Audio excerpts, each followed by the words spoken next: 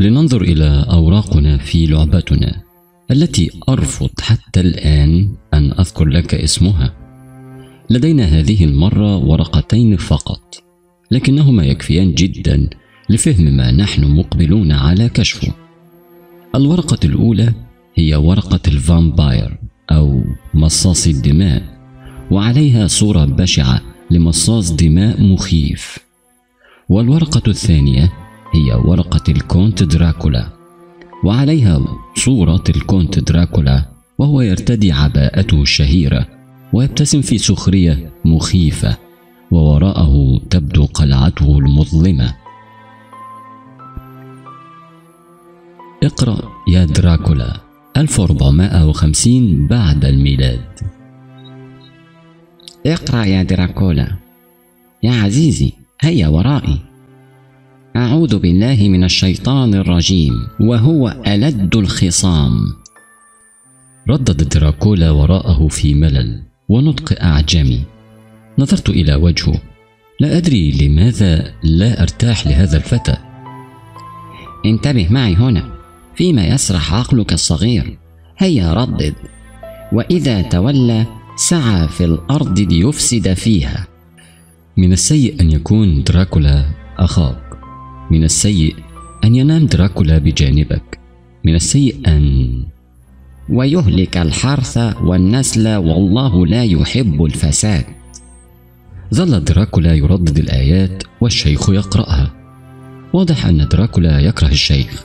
هذا ليس غريبا. فأخي يكره الجميع. يكرهني ويكره هذا المكان ويكره القرآن.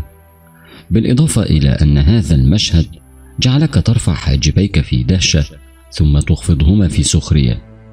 ظنا أنني أحكي قصة كوميدية. لا يا صديقي. ها أنا ذا رادو بشحمي ولحمي. أجلس في هذا المسجد وها هو أخي دراكولا. بشحمه ولحمه. يجلس بجانبي يردد آيات القرآن والشيخ يصرخ فيه وقد بدأ كل هذا الغباء يضايقه. دعني أحكي لك الحكاية منذ البداية حتى يزول عنك العجب. إن أبي كان حاكما على مملكة والاكيا وقد أطلق عليه شعب والاكيا اسم دراكول وتعني بالرومانية التنين. هذا لأن والدي كان عضوا مؤسسا في تنظيم سري مريب من الفرسان يدعى تنظيم التنين. وقد وضع أبي رمز التنين هذا على العملة في والاكيا وعلى الدروع الحربية أيضا. فشاع بين الناس تسميته التنين دراكول أو دراغول كما ينطقها الأهالي في والاكيا سيد دراكول إنها رسالة من السلطان العثماني يا سيدي. ها قد بدأت المشاكل وكل ذنبنا أن والاكيا بين مطرقة العثمانيين وسندان الهنغاريين يريدون الفتك ببعضهم البعض وفي سبيل هذا فلتذهب والاكيا إلى الجحيم. قرأ دراكول رسالة السلطان باهتمام شديد. إن الدولة الإسلامية تفرض عليه الجزية لتحميه من الهنغاريين وتشترط عليه أن يمدهم بالمقاتلين. لو احتاج الجيش المسلم إلى المقاتلين. وتطلب منه سرعة الرد والبرهان على الولاء. وقد كان البرهان الذي اختاره والدي غريبا جدا. لقد أرسلني أنا وأدعى رادو وأخي الأكبر دراكولا إلى أدريانبول أو إيديرنا معقل السلطان العثماني المسلم. تعلم من أخيك رادو لقد حفظ عشر صور حتى الآن ولم تحفظ أنت آية واحدة يا دراكولا. كان أقوى برهان على الولاء فيستحيل أن تهاجم دولة وقد أرسلت فلذات كبدك إلى سلطانها. وجدنا أنفسنا أنا ودراكولا وعمرنا لم يتجاوز الثانية عشرة غرباء في بلاد غريبة ومباني غريبة وألبسة غريبة وعمائم طويلة ولحى وقصور. كان أخي كارها لكل هذا السخف ورغم أن السلطان المسلم كان يهتم بنا جدا ويعلمنا الفروسية والقتال والعلوم بكافة أنواعها وخاصة الإسلامية منها إلا أن دراكولا لم يكن سعيدا. كان يشعر أنه مجرد أسير وأن هؤلاء أعداؤه يحاولون أن يسقونه بتعاليمهم وثقافتهم التي يكرهها ولا يستسيغها. لكن بالنسبة لي كان الوضع مختلفا. ما اسمك أيها الفتى الظريف ذو الشعر الذهبي؟ اسمي رادو وأنت؟ أنا محمد ابن مراد ابن السلطان. لم أكن أعرف أنني سأعيش طفولتي مع محمد بن مراد. الرجل الذي عرفه الناس بعد ذلك بسنوات بمحمد الفاتح الفارس العظيم الذي فتح القسطنطينية. كنت أنا ومحمد الفاتح صديقين عزيزين وكلما اشتدت صداقتي معه قوة اشتدت عداوتنا أنا وهو مع دراكولا إن دراكولا ومحمد الفاتح لم يكونا يطيقان بعضهما منذ الصغر رغم أنه قد فرض عليهما أن يعيشا طفولتهما معا وأن يتدربا معا ويتعلما معا. لم يكن هذا غريبا ابدا فأحدهما كان فارسا حقيقيا وكان الآخر شيطانا حقيقيا. هيا ارمي سهمك يا رادو ارمي سهمك.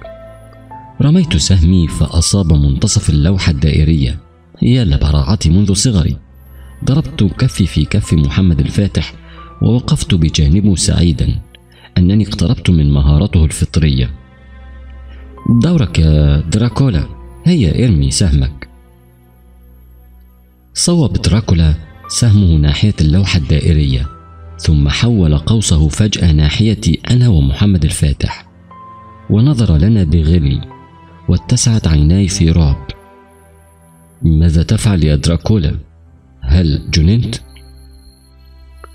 شد دراكولا سهمه وقوسه مصوب إلينا ثم أطلقه فجأة.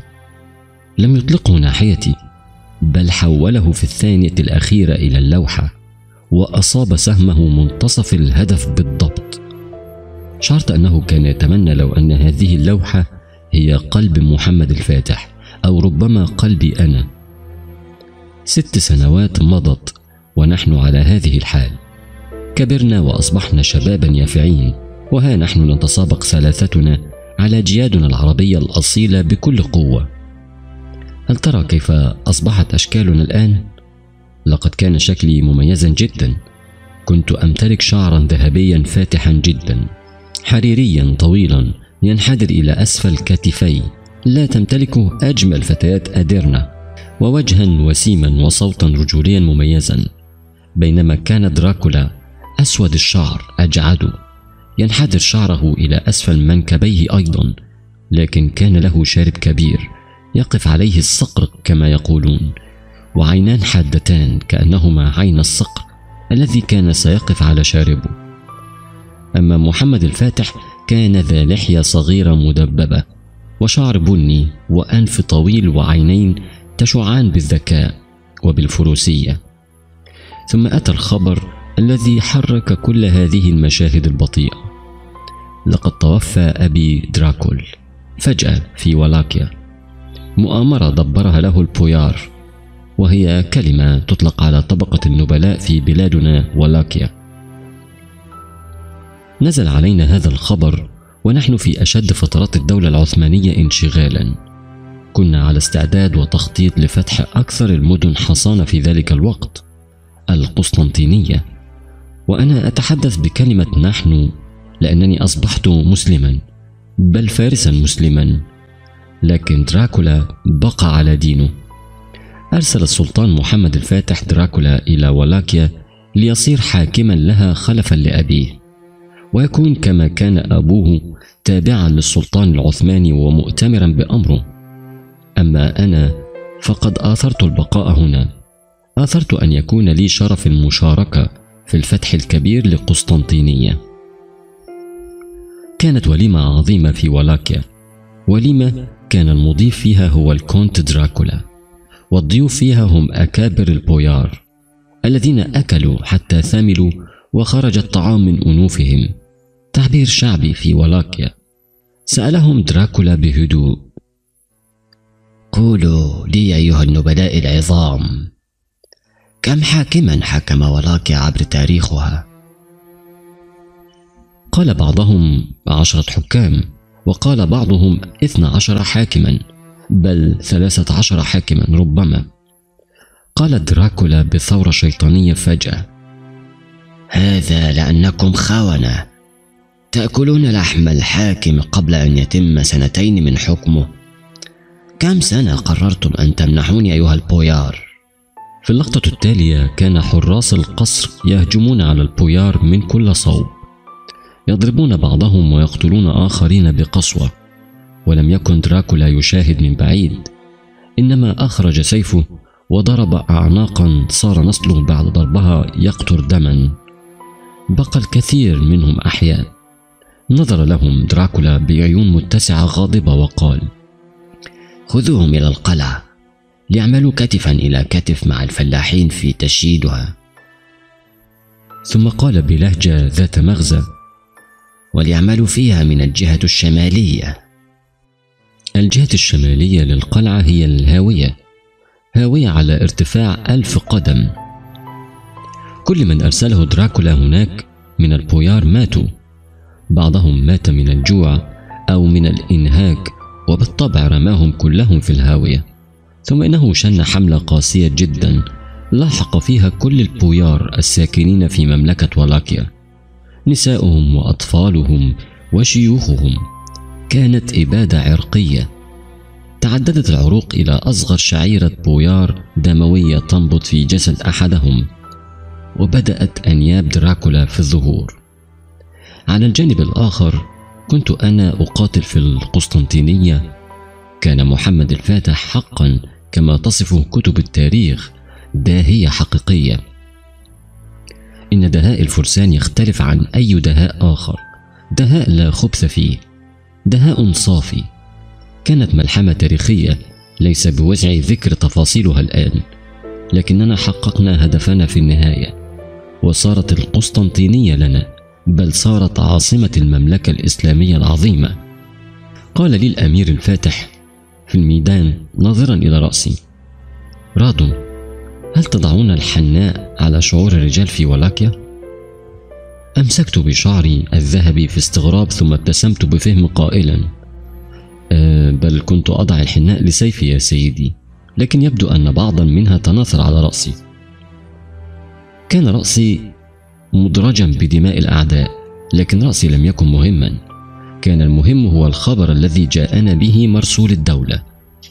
لقد أعلنت ولاكيا التمرد على السلطان. لقد تمرد دراكولا. فعلها وتمرد.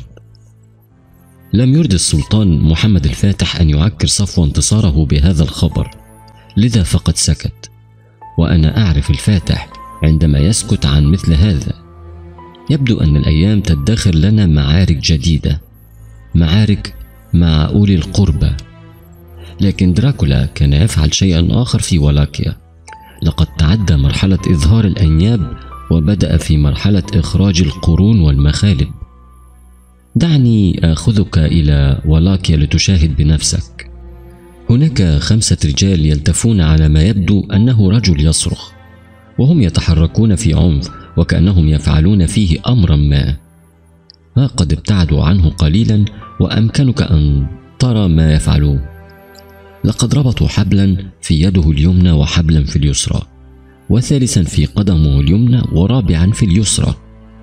وقام أضخم الاثنين منهم بتثبيته وتراجع ثلاثة منهم. هل ترى؟ إنهم يربطون أطراف الحبال في جياد والرجل يصرخ مستنجدا بلغة لا تفهمها ثم إنهم وجهوا رؤوس الجياد إلى الاتجاهات الأربعة التي تشير إليها أطراف يديه ورجليه المتباعدة. ثم إنهم وخزوا الجياد فتحركت ببطء ليرتفع الرجل عن الأرض صارخا وظلت الجياد تتحرك طارة وتقف طارة والرجل يتمزق باكيا ثم إنهم ضربوا الجياد بالسياط فثارت وتحركت بعنف سريع لتتمزق أطراف الرجل الأربعة وتجري كل منها مع جوادها. وها هو رجل آخر يمسكه رجلان مفتول العضلات ويرغمانه على الركوع وهو يصرخ. ويأتي رجل آخر ماسكا وتدا خشبيا طويلا مسننا ويطعنه به في دبره. الطعنة لا تقتل. يحاول الرجل أن يفلت بلا جدوى. ثم يقيدونه ويقيدون يديه ورجليه بطريقة معينة إلى الوتد. ثم يتعاون الثلاثة رجال على رفع الوتد وتثبيته في فتحة بالأرض. ها هو الرجل أعلى الوتد وكأنه جالس عليه ويترك على هذه الحال حتى يموت. ليست المشكلة في الموت من الجوع والعطش بل المشكلة في أن هذا الوتد ينغرز ببطء شديد في أحشاء الرجل.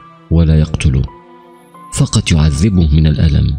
ثم يموت الرجل لما يخترقه الوتد ويخرج من جسده أو لما يموت من الألم أو من انفجار الأحشاء. هذا الوتد الذي رأيته الآن هو ما اصطلح على تسميته بالخازوق العقاب الذي اشتهر به دراكولا في كتب التاريخ. ويبدو أن دراكولا قد أعجبته حكاية الخازوق هذه. فأخذ يتفنن فيها تفننا عجيبا. فمرة يغرز الوتد في فم أحدهم ويعلقه على الوتد مقلوبا وتارة يعلق النساء عليه من فروجهن. وتارة يغرزه في البطون وتارة يغرزه في رقبة طفل رضيع. لقد كان أخي مختلا أو ربما شيطانا حقيقيا وبلغ من إعجابه بهذه الطريقة إلى أن جعلها هي العقاب الرسمي. لأي خطأ يخطئه أي فرد من أفراد الشعب. فمن يسرق يخوزقه ومن يكذب يخوزقه ومن يضرب احدا يخوزق أو يخوزق الضارب والمضروب. بل إنه وصل إلى مرحلة أبعد من هذا. دعني آخذك إلى هذا المشهد.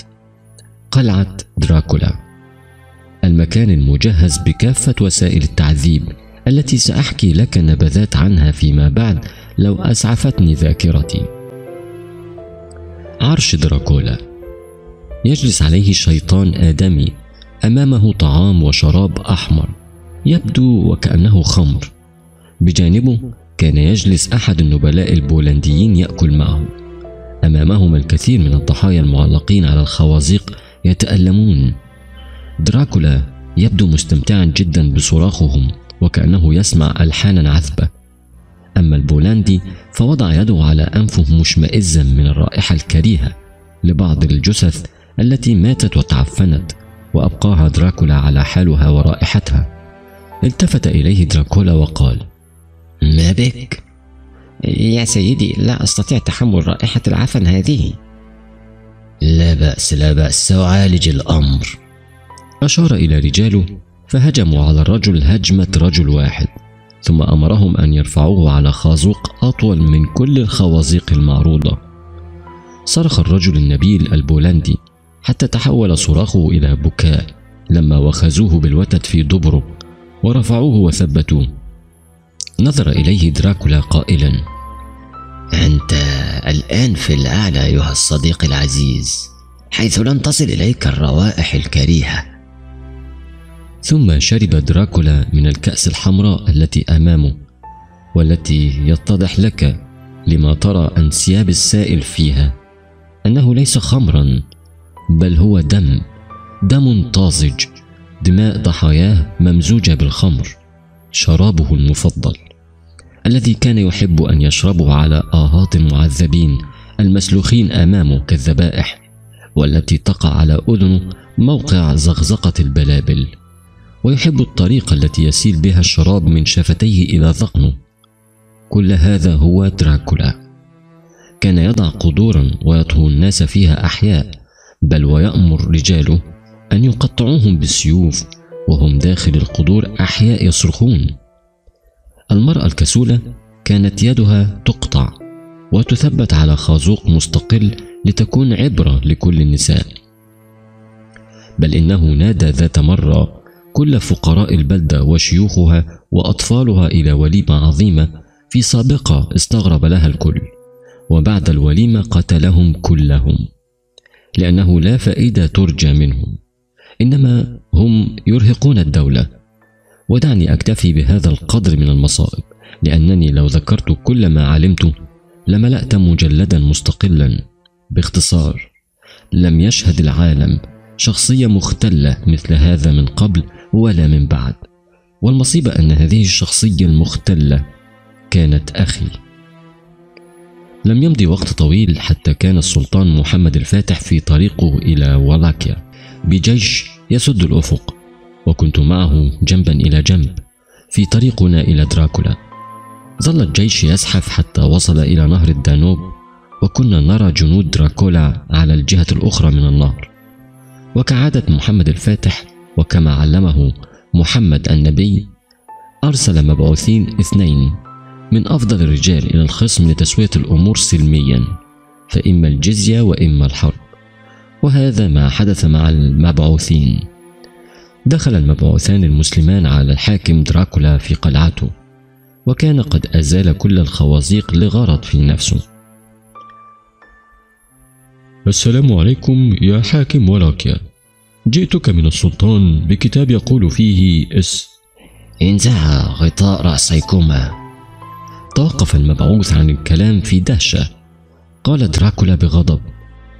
انزع غطاء رأسك أنت وهو. ما هذه العمائم الطويلة السخيفة؟ إنها تقليد عثماني أيها الحاكم وعظمت تقاليدنا أهم من مزاجك المتعكر. آه لا بأس. سأبقيه لكما كما تشاءان. وأشار إلى رجاله المجانين الذين أحاطوا بالمبعوثين في سرعة وأمسكوا بعمائمهم في إحكام ثم قاموا بأمر شديد الغرابة والوحشية. جاءوا بمسامير صغيرة رفيعة وقيدوا المبعوثين ودقوا المسامير في عمائم المبعوثين لتخترق رؤوسهم وتسيل دماء رؤوسهم على أعينهم. قال لهم دراكولا هكذا ستبقى عمائمكم على رؤوسكم إلى الأبد. اذهبوا إلى السلطان محمد الفاتح واخبروه كيف أن دراكولا لم ينسى التقاليد العثمانية وخاصة المتعلقة منها بإبقاء العمائم على الرؤوس. عاد المبعوثون ودماؤهم المندهشة تسيل على وجوههم. وحكوا ما حدث معهم للسلطان الذي غضب غضبة لم أره قد غضب مثلها في حياته. أمر السلطان أن تتحرك سرية قوامها عشرون ألف رجل لتخترق جيوش العدو أي ما يساوي ثلاثة أضعاف جيش دراكولا. وكان قائد الجيش فارسا شجاعا مسلم اسمه حمزة. أفضل فرسان جيش السلطان في ذلك الوقت. وكانت المفاجأة التي لم يتوقعها أحد. لقد انهزم جيش السلطان هزيمة نكراء لم ينهزم مثلها من قبل. ولم نرى إلا محمد الفاتح يقف بجواده على قوائمه الخلفية ثم ينطلق به كالسهم. وانطلقنا كلنا خلفه. بجيش قوامه عشرون ألفا آخرون يملأهم الغضب وشهوة الانتقام. وها نحن؟ نخترق نهر الدانوب. يا لها من عزة تلك التي كنا فيها. يا لروعة هذا الدين لقد عادت إلي ذكريات قتالي في القسطنطينية. أن تركض بجوادك بين عشرين ألف فارس مسلم ترك الدنيا وراءه ولم يعد يرى إلا الشهادة. هو أمر لن أقدر أن أوصله إلى مخيلتك أبدا. أمر عظيم. وها نحن ندخل من أبواب المدينة. شعرت بحركة غير طبيعية في مقدمة الجيش. وكنت أنا في أوسط الجيش. رأيت الجمع قد تباطأت سرعته وسمعت أصواتا تبدو وكأنها نحيب في مقدمة الجيش. لم أفهم ما الأمر. لماذا توقف الرجال؟ اخترقت الصفوف بسرعة حتى اتضحت لي الصورة. الصورة التي جعلت عيني تتسعان حتى كادتا أن تخرجا من مكانهما وتذهبان بعيدا احتجاجا على هذا الهول الذي ترونه. وتوقف جيش السلطان بل توقف السلطان نفسه بكل شجاعته. انظر أمامك. ألا ترى ما نراه؟ إنها غابة كثيفة بل غابتان كثيفتان. غاب عن يميننا وغاب عن شمالنا. غابتان جذوعهما أوتاد خشبية. أغصانهما أياد وأقدام بشرية حية وميتة. أوراقهما أجساد مخوزقة على الأوتاد. أجساد خرجت منها أرواحها أو لم تخرج. أجساد تنظر لنا بأعينها وتقول الله أكبر. وكان للغابتين صوت. صوت آهات ونحيم. وصوت يذكر الله. إنها السرية التي أرسلها محمد الفاتح. لقد وضعهم الشيطان جميعا على الخوازيق. عشرة آلاف وتدا. عن يميننا وعشرة آلاف عن شمالنا. توتر الجيش. تعالت صيحات البكاء على الأهل أحيانا أو على الرفاق أو على إخوة مسلمين أو على الإنسانية. وقف محمد الفاتح مذهولا وجعل يتذكر طفولته مع دراكولا. ذلك الطفل الحقود الذي كان يناوشه الليل نهار. الآن لم يعد طفلا بل صار شيطانا رجيما. يناوشه أيضا. نظر إلى ناحيتي. كيف أنجبتكما بطن واحدة؟ كيف رباكما أب واحد؟ كيف صار أحدكما فارسا مسلما وصار الآخر ماردا من مرضة الجحيم؟ نظر محمد الفاتح إلى جيشه. لقد انهارت كل جذوة حماس بداخلهم. التفت محمد الفاتح لأول مرة في عمره بجواده لجهة العودة وقال ليس اليوم يوم زحفانة لكن بحق هذه الأرواح الطاهرة وبحق كل قطرة دماء سنأتي برأس هذا الشيطان على وتد نضعه في منتصف القسطنطينية يرميه صبيانها بالحجارة. والتف جيش المسلمين عائدين من حيث أتوا. لم تكن الحرب هذه المرة مع حاكم عادي لقد كانت مع دراكولا. الشيطان. كان مستحيلا في ذلك الوقت أن تفعل ما فعلت بالمسلمين وتنجو بفعلتك. كان محمد الفاتح يجهز جيشا قوامه ستون ألف رجل مليء بالخيول والمدافع والغضب وجعلني أنا على رأس هذا الجيش قائلا. اذهب يا رادو وأتني برأس أخيك. إن عرش ولاكيا لم يخلق لتعتريه الشياطين. إن عرش ولاكيا قد خلق من أجلك أنت. سآتيك به يا سيدي قبل أن تجف دماء شهداؤنا في ولاكيا. وانطلقت على رأس ستين ألف رجل إلى ولاكيا. وفي هذه المرة سمع دراكولا بخبرنا وبعددنا ففعل شيئا عجيبا.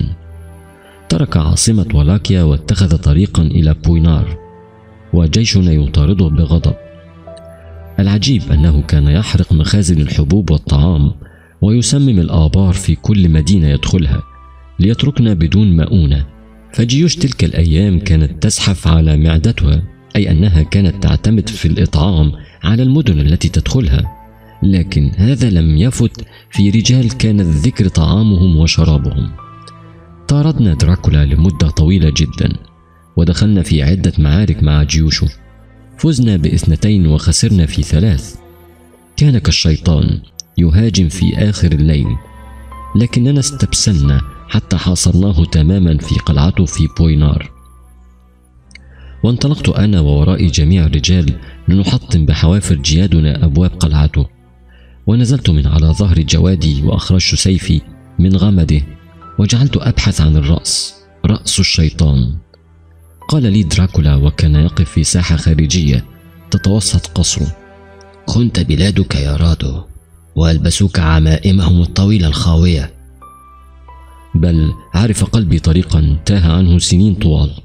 طريق تقع في نهايته رأسك. ورفعت سيفي كما ترفع الفرسان سيوفها. لأجد دراكولا يرمي بسيفه بعيدا ويفعل آخر شيء توقعته في تلك اللحظة. قفز في بئر بمنتصف الساحة. أسرعت إلى البئر لأنظر بداخله في غضب. لأرى دراكولا ينظر لي بسخرية. ثم يركض هاربا في طريق أسفل البئر. عزمت على اللقاح به لكنني رأيت رجاله قد أتوا في الأسفل وأوقدوا نارا عظيمة ارتفع لهيبها إلى أعلى البئر حتى كاد أن يلفح رأسي. كان هذا نفقا سريا من أنفاقه التي عرف لاحقا أنه قد بناها في كافة قلاعه. لقد هرب دراكولا. هرب وترك لنا ولاكيا. هرب دراكولا إلى هنغاريا ليطلب الدعم من ملكها. ولكن ملكها بدلا أن يقدم له الدعم قام بأسره وسجنه في هنغاريا. وظل مسجونا سنين طويلة. وأصبحت أنا أميرا على ولاكيا حكمت فيها بالعدل وجعلت شعب ولاكيا ينسى كل ما فعله به دراكولا. حكمت ولاكيا تسع سنوات كاملة. تزوجت فيها امرأة مسلمة وأنجبت طفلة جميلة مسلمة هي ماريا ثم آتاني أجلي وخرجت روحي إلى حيث مستقرها. ومن جاء بعدي لحكم ولاكيا كان رجلا خارجا من سجن سنين طوال في هنغاريا. رجل يدعى الشيطان دراكولا. شهر واحد فقط حاول فيها الشيطان أن يعيد أسطورة حكمه في ولاكيا. شهر واحد انتهى برأسه مقطوعة على رماح أحد الحشاشين المتبقيين بعد أن أباد هولاكو دولتهم. ذلك الحشاش الذي أمسك بالرأس وغمسها في العسل ثم أرسلها إلى القسطنطينية إلى محمد الفاتح حتى يستلمها طازجة. رأس دراكولا التي علقت في القسطنطينية في البلاط العثماني ليدفل عليها من يدفل ويرميها بحجارته من يرمي. رأس حوت عينين كانتا متجبرتين متغطرستين والآن أصبحتا مفقوءتين تنظران إلى الأرض في ذل. كان دراكولا مختلا عقليا فقد بلغنا أنه كان يفعل أشياء عجيبة جدا في سجنه في هنغاريا. كان يصطاد الحشرات والقوارض ويخوزقها على أعواد صغيرة من أغصان الشجر ويتسلى برؤيتها تموت. أي شيطان هذا؟ بل أي مخبول لكنه أخذ منا ما يستحقه ولقد خلقنا فرسانا لنوقف أمثال هذا عند حده ولا نخشاه وإن خرجت له أجنحة يطير بها. لا نخشى إلا غضبة من خلقنا. لهذا خلقنا فرسانا بل لهذا خلقنا مسلمين. لم يكن هناك شخصية تصلح لأن يقتبسوا منها شخصية دراكولا مصاص الدماء الشهير. أكثر من شخصية دراكولا الحقيقي. وهو فعلا كان يحب شرب دماء ضحاياه الممزوجة بالخمر. والواقع أن دراكولا الذي نراه في الأفلام يعتبر طفلا مدللا أمام دراكولا الشيطان الحقيقي. السبب الذي ذكرت فيه هذه القصة هي أن دراكولا قد خلف والده في رئاسة تنظيم التنين. وهو واحد من التنظيمات السرية التي أنشئت بعد فرسان الهيكل وهي تنظيمات ماسونية ركزت في تلك الفترة التاريخية على تجهيز حملات ضد الدولة العثمانية. تنظيمات كانت في ظاهرها تدعو للإخاء والمحبة والمساواة كعهد كل التنظيمات الماسونية ولكن لها في الحقيقة أهداف أخرى. أهداف سوداء لكن والد دراكولا الذي يدعى دراكول لم يقدر على فعل شيء أمام قوة الجيش العثماني وكل الحملات التي قام بها فاشلة حتى أذعن في النهاية للسلطان العثماني إذعانا مطلقا وأرسل له ولديه كضمان للولاء. ولكن عندما أصبح ابنه دراكولا رئيسا للتنظيم الماسوني كان يبدو وكأن الشيطان نفسه قد أصبح رئيس التنظيم. فنظم حملات بشعة أذاقت الجيش العثماني ويلات كثيرة. أعجبت ملوك أوروبا ورجال الدين فيها حتى أنهم غضوا النظر عن دموية دراكولا في تلك الحملات. فالمهم عندهم أنه كان يقاتل الأعداء ويذيقهم الويل تم تمثيل قصة محمد الفاتح ورادو ودراكولا في مسلسل تركي شديد الأهمية هو فاتح. ويحكي القصة كاملة منذ طفولة الثلاثة وحتى فتح القسطنطينية ووفاة محمد الفاتح. بغض النظر عن هذا دعني أخبرك المزيد عن الماسونية وعن انضمامي لها ولا أحد سيخبرك بما سأخبرك به لأنني تدرجت فيها حتى الدرجة الحادية والعشرين. ورغم أنني سأموت بعد قليل كما هو واضح إلا أنني لم أعد أخشى شيئا فسأقدم حياتي ثمنا لما سأخبرك به الآن. كما قدم العديدون من قبل حياتهم لكنني سأختلف عمن سبقوني لأنني سأورثك من بعدي كتابا. كتاب عليك أن تقرأه وتحتفظ بتفاصيله بين جنبات عقلك. ثم تحرقه حتى لا يطالك مثل ما سيطالني. الداخل جديدا على الماسونية لا يستشعر منها بأي خطر. بالعكس هو يقسم على الكتاب الشائع في البلد الذي هو فيه فالمسلم يقسم على القرآن. والمسيحي على الإنجيل واليهود على التوراة وعند الوصول للدرجة الثامنة عشرة تحديدا. يكون القسم على التوراة فقط والرموز نفسها تكون معانيها بريئة في البداية ثم تتطور لتكون معاني متوسطة ثم تتحول لتصبح رموزا يهودية خالصة. وهم لا يختارون أي شخص للدخول في الماسونية لكنهم يختارون أشخاصا بعينهم. أشخاص لهم تأثير في المجتمع تأثير سياسي أو ديني أو اقتصادي. فلديهم مجموعات تحريات تراقب شخصا معينا مرشحا من قبل ماسونيين آخرين. يخرج له أشخاص لمراقبته ويجمعون عنه كل ما يمكن جمعه من معلومات. هم دائما يبحثون عن استيطان أذهان النخب تحديدا. أصحاب المناصب وأصحاب الثروات. حتى يتمكنوا عن طريقهم من إنفاذ أغراضهم. ثم حتى بعد انضمامهم يقيمون لهم اختبارات معينة تدريجية تؤهلهم للتدرج إلى كل درجة تالية فالماسونية ليس فيها تقدم. لا يمكن أن تتقدم لتكون ماسونيا. لابد فيها من ترشيح من أحد من داخل محفل والدرجات الثلاث الأولى تعتبر بمثابة كشافات لمعرفة من يصلح للترقي بعد ذلك. وهو غالبا الشخص النافذ أو الذي لديه منصب. الشخص الفارغ أو المستعد لأن يفرغ. تكون عنده طموحات. عنده شهوات مثلا يحب المال أو النساء أو السلطة. وهم يوفرون له هذه الأشياء. ثم يتم تصعيده في سلم الماسونية وتغيير الأفكار في كل مرتبة وكل درجة. وتغيير معاني الرموز. فإذا وصل للدرجة الثلاثة والثلاثين ويسمونها الدرجة السامية يفتح له الأستاذ الأعظم للمحفل سجلا ويقول له أنت وأبوك وأجدادك ستتشرفوننا بالانضمام إلى بني إسرائيل. فالآن نحن نصحح نسبك ونسجل اسمك في سجل السبط الثالث عشر لبني إسرائيل. وستحوز شرف مشاركة هذا السبط الفخري العظيم في إتمام العمل العظيم وإعادة البناء العظيم الهيكل العظيم هيكل سليمان. في البداية يقولون إن الإله الذي يعبدونه هو المهندس الأعظم وهي كلمة مبهمة قد تظنها تشير إلى الله.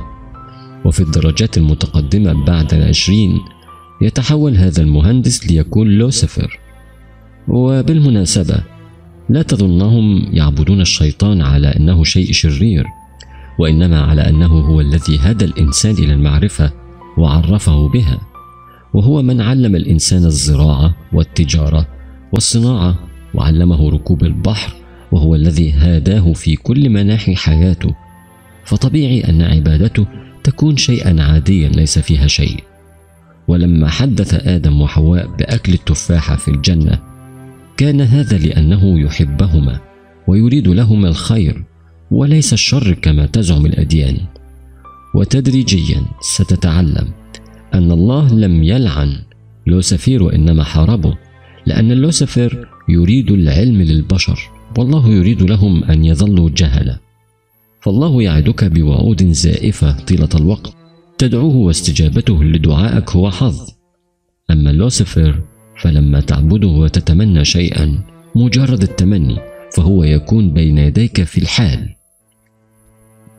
يدخلك إلى جنته في الدنيا وستتعلم أن الآخرة هي مجرد وهم لا وجود له بكل ما فيها من جنة ونار وما إلى ذلك.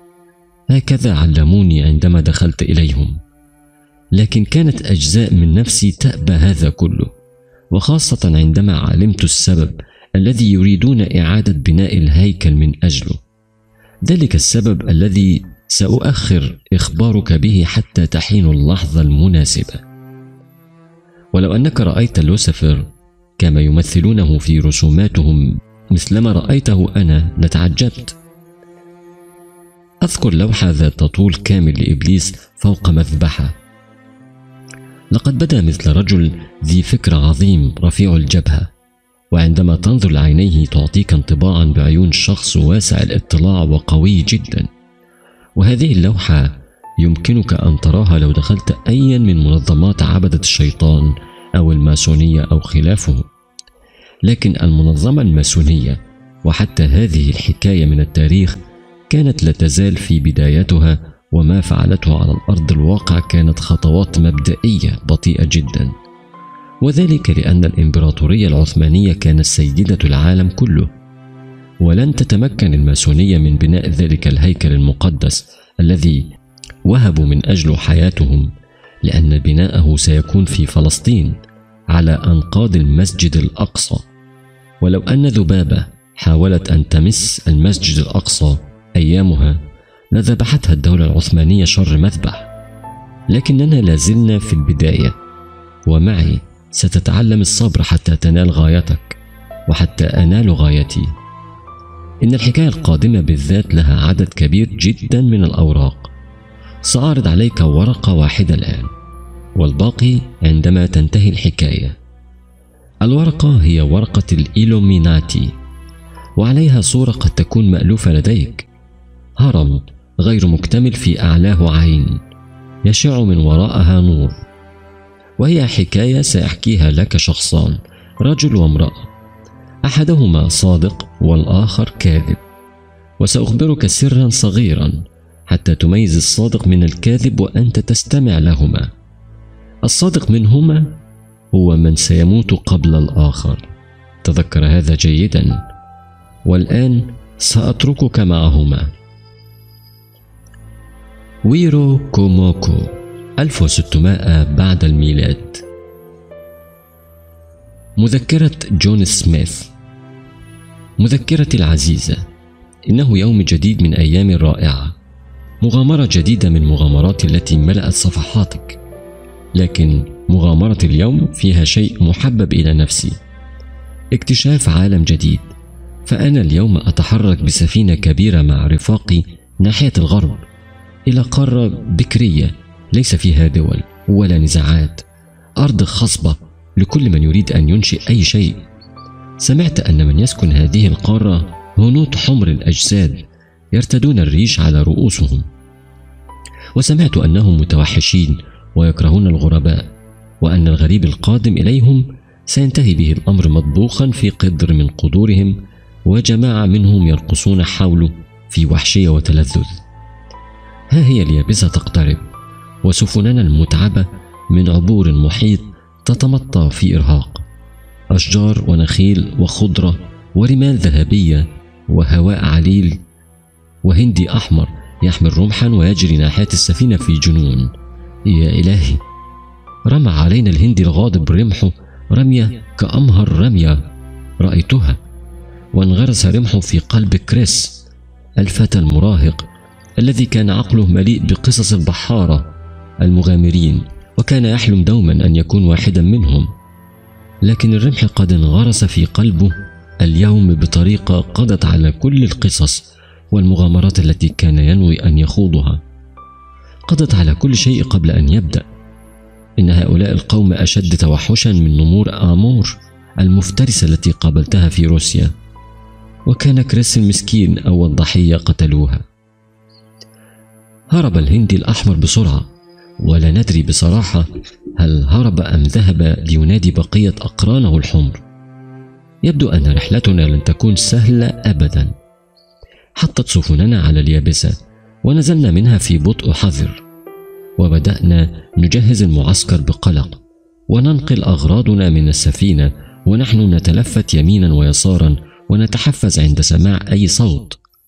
وها قد أتى الليل ولم نتعرض لأي هجوم ثاني. مذكرة بوكا هونتاس. بوهاتان. بوهاتان هي مملكتي التي تضم بين أرجائها كل القرى الموالية لنا. ويرو كوموكو هي قريتي بين تلك القرى. وان سيناكا هو أبي. أحب الناس إلى قلبي. وأنا ماتو واكا الصغيرة ابنة العشر سنوات. وأحب الناس إلى قلب أبي. واسمي يعني زهرة بين مجريين لأن قريتنا كانت تقع على مجرى نهرين واسمي الآخر هو أمانوتي وأبي هو زعيم مملكة بوهاتان كلها. لست ابنته الوحيدة فأبي له ما يقرب من الثلاثين بنتا. نتيجة زواجه بما يقرب من الثلاثين زوجة. لكن من بين كل هؤلاء كنت أنا الأقرب إلى قلبه وكنت كذلك فقط لأنني بوكا هونتاس ليس بسبب أي شيء آخر. بوكا هونتاس هو أشهر أسمائي وهو اسم له معنى مثل كل أسماؤنا ومعناه هو الفتاة الشقية. وشقية يعني مرحة وروحها حلوة. لماذا أنا الأحب إلى قلب والدي؟ لأنه لما تزوج ثلاثين مرة فعل ذلك بدافع من تقاليدنا التي تحتم. على زعيم المملكة أن يتزوج فتاة من كل قرية وينجب منها. فيدخل الدم الملكي إلى القرية فيكون هذا إعلانا من القرية بالولاء للملك. ملك مملكة بوهاتان. أما أمي فلم يتزوجها أبي بدافع سياسي بل كانت أول امرأة يتزوجها في حياته وأول امرأة يحبها في حياته. وقد كان اسمها بوكا هونتاس أيضا وقد تزوجها قبل حتى أن يصير ملكا على بوهتان وكنت أنا أول إنجاب لأبي ولقد ماتت أمي لما أنجبتني. الأمر الذي أحزن والدي حزنا أسودت لأجله طيات روحه لكنه لم يلبث أن قرر أن يسميني بوكا هونتاس مثلما كانت أمي بوكا هونتاس لأكون مولدا للسعادة التي ستأتي وتنتزع حزنه الأسود من ثنايا روحه. ليكون هباء تذروه الرياح. أخبرنا الكويكرز أن هناك قوما بيضا قد أتوا بسفنهم ضيوفا على سواحل مملكتنا. ونصحنا الكويكرز أن نتودد إليهم أيما تودد وتلطف وأن نريهم كيف يكون حسن الضيافة لدى البوهتان والكويكرز كما لابد أنك تعلم هم رجال الدين في بوهتان وأصحاب الشورى. وبالفعل لما وصل أولئك القوم بيض الوجوه إلى سواحلنا خرجت جماعات من أفضل رجال ونساء بوهتان لاستقبالهم بموائد من أرقى طعام ويرو كوموكو. وقد فرحوا باستقبالنا أيما فرح وأعطونا الكثير من القطع النحاسية الثمينة. فالنحاس في بوهتان هو كالذهب في سائر بلدان العالم. حقا كانوا قوما بيضا لطفاء. مذكرة جون سميث. مذكرتي العزيزة أربعة شهور مضت علينا ونحن في هذا المكان نبني معسكرنا ونجهز عدتنا. ونصد هجمات عنيفة كان يشنها علينا الهنود الحمر بين الفينة والأخرى. حقا إنهم متوحشون ليسوا فقط متوحشين بل هم آكلوا لحوم بشر كما سمعت. لقد حاولنا التودد إليهم أكثر من مرة. وجل ما وصلنا إليه هو تجارة. أجريناها مع بعضهم ممن آتون في سلام. نعطيهم قطعا نحاسية ويعطوننا طعاما لكن مخزوننا من الطعام الذي جئنا به من إنجلترا كان قد نفد تماما. وقد نفدت منا كل القطع النحاسية التي أتينا بها. وهؤلاء الهنود لا يعطون شيئا بالمجان أبدا. لذا قررت أن أصطحب أكثر رجال قوة. ونتوغل أكثر في هذه القرية. علنا نحصل على شيء يصلح للأكل. وبينما نحن نتفقد أرجاء تلك القرية الجميلة التي لا أصدق أن سكانها بهذا التوحش. إذ رأينا مجموعة من هؤلاء المتوحشين أقوياء البنية يسيرون بقارب على النهر ببطء وينظرون إلينا في تحفز. وبدون أن أنتظر لحظة ورفعت بندقيتي وصوبتها إليهم عازما على إزاحتهم عن طريقنا. لكن أحدهم صرخ صرخة وحشية مدوية. سمعنا على إثرها حفيف أشجار كانت حولنا. أشجار برز منها عشرات منهم. واستدرت مع رجالي عازما على الهرب. فلا قدرة لدي على مواجهة كل هذه المخلوقات المفترسة التي ترتدي الريش. هرب رجالي ولم أقدر أنا على الهرب. لم أتخيل أن نهايتي ستصبح بهذه البشاعة على يد قوم حمر الوجوه يرتدون ريشا. حاولت بكل مهاراتي أن أهرب لكنهم حاصروني من كل مكان. فرميت سلاحي ورفعت يدي وحاولت أن أتحدث معهم لكن سهما انغرز في كتفي كان أسرع من حديثي. ثم أظلمت الدنيا في عيني وسقطت على الأرض. مذكرة بوكاهانتس أربعة أشهر مرت على استضافتنا لهؤلاء القوم البيض في أرضنا. وكان أحدهم رجلا شديد الوسامة ذا شعر بني.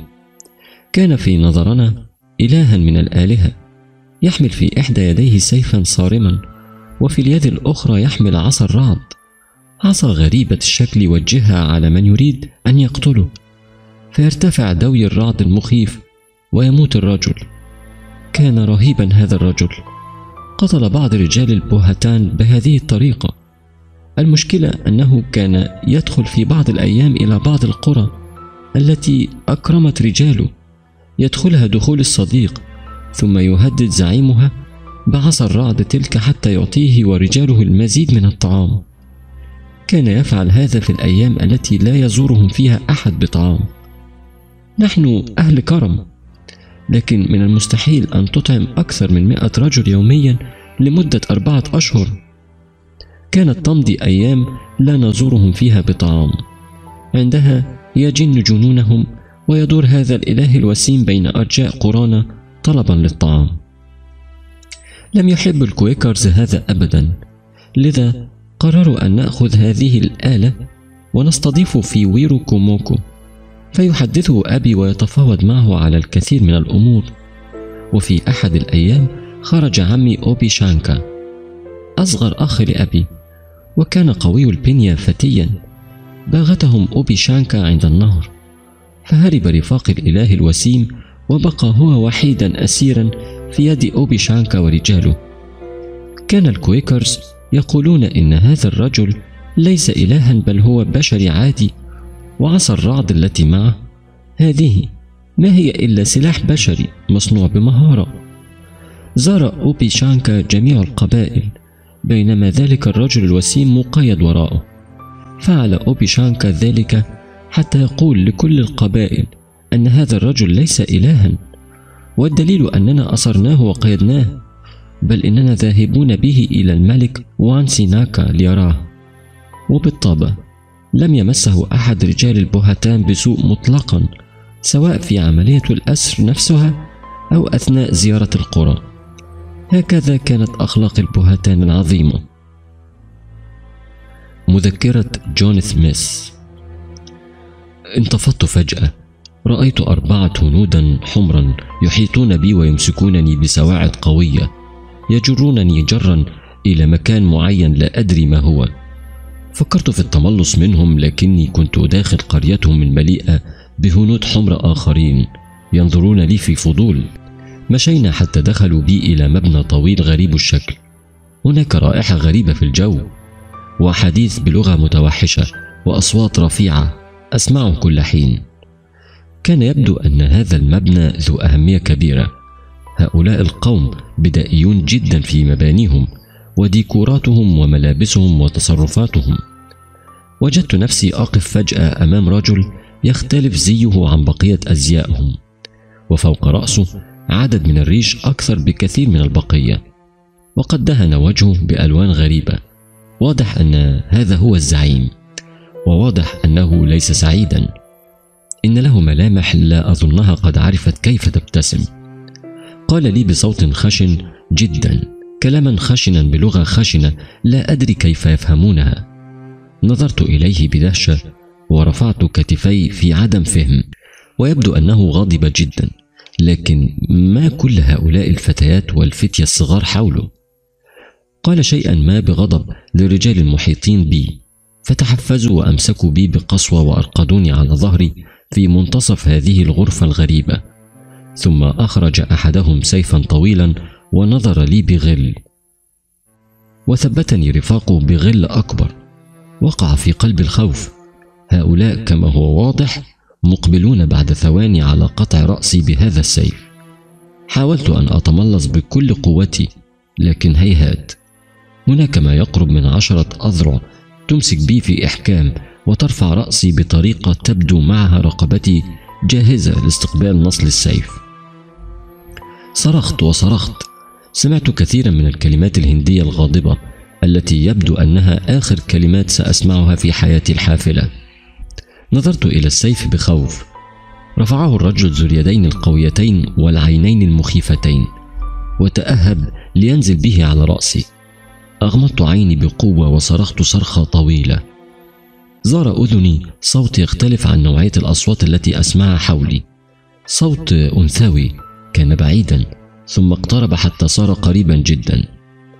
ذراعان أنثويتان رقيقتان أحاطتا بي في رقة. أنفاس أنثوية برقة الظهر شعرت بها على وجهي. فتحت عيني ببطء مندهش. رأيتها وكأنما توقف وعي عن الوعي بكل شيء حولي. وصارت كل صورة حولها مموهة وصورتها وحدها في عيني. رأيتها وهي تصرخ وتحيط بي وترفع يدها في وجه السياف. وتضع وجهها أمام وجهي ورقبتها أمام رقبتي. عطر أنثوي شعر طويل كأنه قطعه من ليل وعينان عينان ورمشان وشفتان. هل أنا في الجنة؟ يستحيل أن اكون لازلت في تلك القرية الهندية. إنها تضع يديها على وجهي في رقه وتنظر إلى عيني في قلق ثم تنظر لهم في غضب. بوكا هونتاس هذا هو اسمها. فتاة شابة في الثامنة عشر فاتنة سمراء هي ابنة الملك الهندي الغاضب تدخلت لتحميني من قسوة أهلها. وقد ذهل القوم بفعلتها هذه وتسمر الملك في مكانه وتحول غضبه إلى دهشة. وقال لها كلاما بلهجة متسائلة. فردت عليه بصوت ملائكي بكلمات تمنيت من حلاوتها ألا تنتهي. خفض السياف سيفه وتراخت عضلات الرجال الممسكين بي وصمت الجميع وتكلمت بوكاهونتاس مذكرة بوكاهونتاس كنت جالسة بجوار أبي كالعادة. حتى دخل علينا أوبي تشانكا ومعه الرجل الوسيم ينظر مندهشا إلى ما حوله. كان عمري عشرة سنوات وقتها. كانت المرة الأولى التي أرى فيها شخصا من عرق مختلف. فكنت أنظر له في دهشة حقيقية قام أبي من مجلسه وحياه مبتسما بتحية البوهتان لم يفهم الرجل شيئا بالطبع لكن كان هناك رجل من الكويكرز ترجم للوسيم التحية بلغته الإنجليزية. أومأ الوسيم برأسه محييا ومد يده يصافح أبي. كان أبي سياسيا رائعا.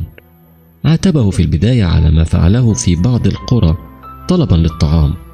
وعرض عليه أن يعطيه البوهتان أرضا أفضل من الأرض التي بنوا عليها معسكراتهم أرض كاباهوسيك فيها ماء عذب وماء مالح ومخرج يمكن أن يضعوا فيه سفنهم.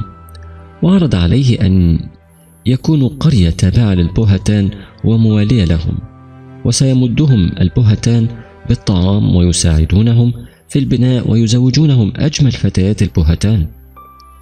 أقام عندنا الرجل الوسيم الذي عرفت أن اسمه جون سميث. أربعة أيام فقط. أكرمناه فيها أيما كرم. وكنت أقدم له الطعام بنفسي وألعب معه وأمد يدي لأشد شعره الذهبي كل حين. علمني بعض الكلمات الإنجليزية وعلمته بعض كلمات من لغتنا لغة الجونكو. وافق سميث على التعاون معنا وعلى عرض أبي موافقة كاملة بدون شروط. وطلب منه أبي أن يساعده ضد الأسبان المخربين الذين يهاجمون مملكة بوهتان كل فترة. ووافق سميث ووعد أبي أن يكون هو والإنجليز تحت قيادته. مذكرة جون سميث. بعد أن اعترضت بوكاهانتس طريق السياف بهذا الشكل تبدلت معاملة القوم لي إلى النقيض. يبدو أنها محبوبة جدا بين قومها. أصبح الجميع يعاملونني بلطف وقدموا لي الطعام والشراب. إن طعامهم غريب لكن مذاقه رائع. شهر كامل أمضيته مع الهنود الحمر في قريتهم العجيبة. كنت أود لو أخطف بوكاهانتس الجميلة وأهرب بها من هذه الأرض إلى أرض ليس فيها سواي أنا وهي. اتفق معي الملك الذي أصبحت أسميه بلاتين نسبة إلى بوهتان على أن نكون موالين له وأن نوقف المناوشات المتكررة بيننا. وقال إنه سيرسل لنا الطعام بشكل منتظم. كان يجب أن أهادنه وأوافقه فهو لا يعلم نية الإنجليز بعد. إن نيتنا هي احتلال بلاده كاملة سواء رضي بهذا أم لم يرضى. هذه أرض راقية تستحق شعبا متحضرا راقيا ليس شعبا همجيا مثل شعبه. إلا إذا رضوا أن يرتقوا فسيعيشون معنا في سلام. بهذا عدت إلى المعسكر وفوجئ الرجال بعودتي لأنني عدت ومعي هنود كثيرون محملون بموائد الطعام. أثناء وجودي في المعسكر كانت بوكاهانتس تأتي كل ثلاثة أيام أو أقل لنمضي اليوم معا على نهر يورك. لقد أحببت بوكاهانتس وأحبتني. المشكلة أن أبوها الملك لا يقبل بالخضوع تحت لواء إنجلترا بل يريد أن تخضع إنجلترا تحت لوائه هو. وكان هذا يعني صراعا قريبا وقتلا كثيرا لأهل بوكاهانتس. هذا صعب على نفسي لكن مصلحة بلادي فوق شهواتي الشخصية. هكذا تعلمت. لكن القدر لم يمهلني لأشهد الحرب مع الجنود. فوسط كل الترتيبات والتجهيزات التي كنا نقوم بها انفجرت ذخيرة من الذخائر في وجهي بالخطأ. مذكرة بوكاهانتس فجأة مات جون سميث. قالوا لنا إنه مات وتم نقل جثته إلى إنجلترا.